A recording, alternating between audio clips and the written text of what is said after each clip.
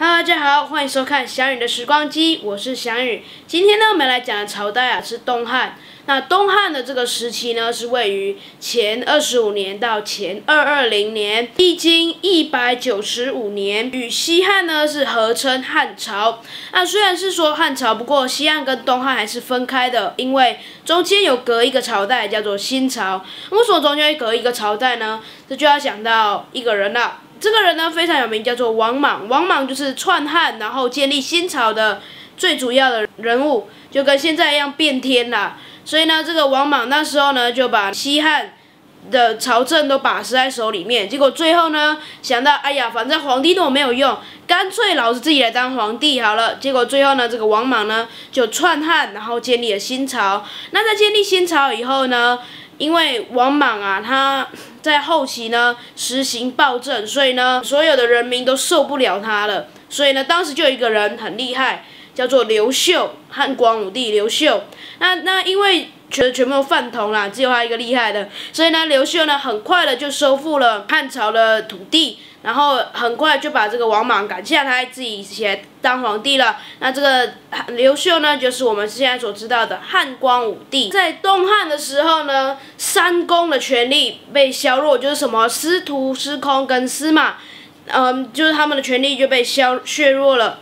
然后呢，当时的这个尚书台啊，尚书台就是一个也是一个职位啦，类似现在的国防部长，对，差不多是这样子，就是什么部长什么部长。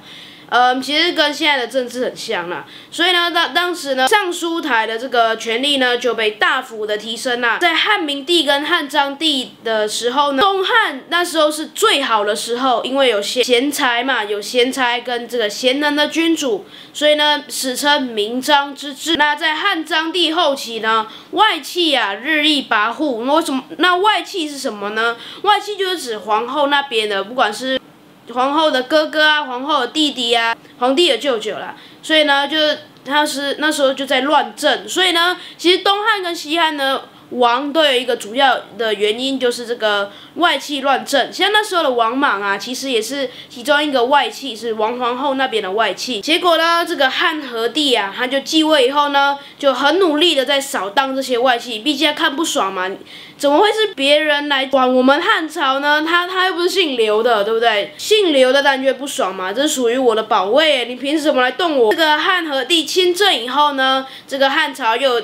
渐渐的繁荣起来了。在汉和帝以后呢，因为啊继继位的皇帝都很小啊，哪里小？年纪小，所以呢，他们都必须要借助宦官的力量才能够当上皇帝。宦官呢，就是没有那两颗东西的人，就是宦官。结果呢，这些宦官，因为他们也不会做事嘛，他们以前就只是陪皇帝、帮忙皇帝、伺候皇帝而已，所以呢，没办法，所以呢，这个汉朝呢的国力呢，就一天一天的比。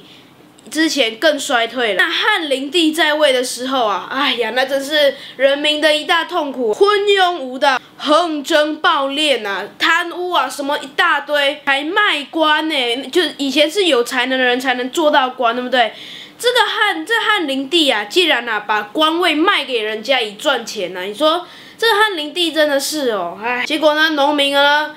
就一直被你们压，一直被你们压，总有一天会有释放的一天嘛，所以农民就不爽了，哈，就开始了这个黄巾之乱。黄巾之乱呢，就是这个农民的起义啦。结果呢，这个朝廷呢，因为朝廷也管不下去了嘛，朝廷就这样各个州的你们自己想办法去募兵吧。结果呢，这些州真的募到兵嘞，可是从此以后就变成军阀割据了，就变成那些有兵的就拥兵自重。那在公元一百九十年呢？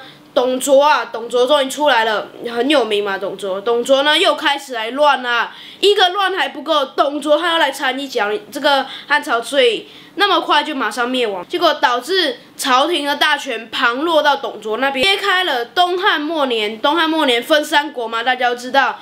可是，在三国之前呢，还有一段军阀分军阀纷争、军阀割据的纷争史，所以呢。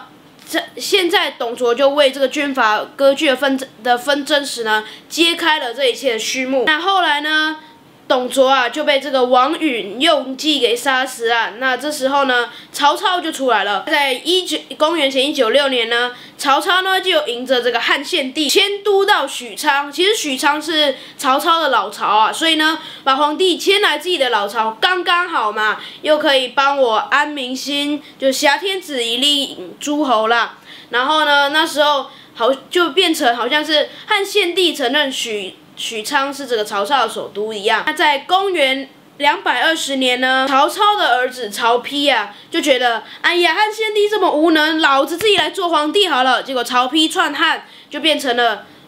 魏国的皇帝了，东汉呢就正式的灭亡，进入了三国的割据时期啦。OK，那所以呢，嗯，以上呢就是今天的东汉啦。OK，那影片结束，如果你喜欢影片的话呢，请帮我按个赞，并且分享，千万不要忘记订阅我的 YouTube 频道哦。除此之外，你可以到我的 FB 粉专还有我的 IG 去帮我按个赞。OK，我是瑞瑞，我们下次再会，拜拜。